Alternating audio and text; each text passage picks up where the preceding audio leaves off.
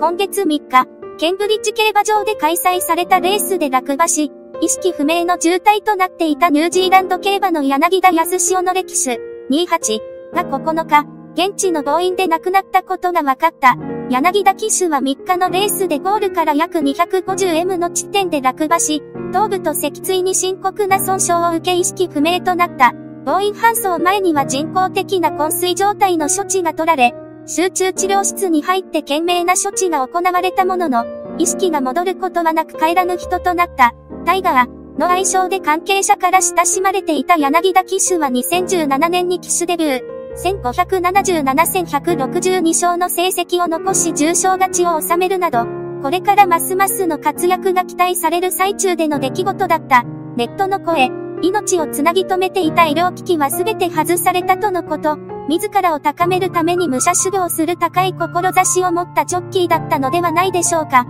今頃空を天馬にまたがり走っていることでしょう。ご冥福をお祈りします。ご視聴ありがとうございました。高評価、チャンネル登録もお願いいたします。梅南港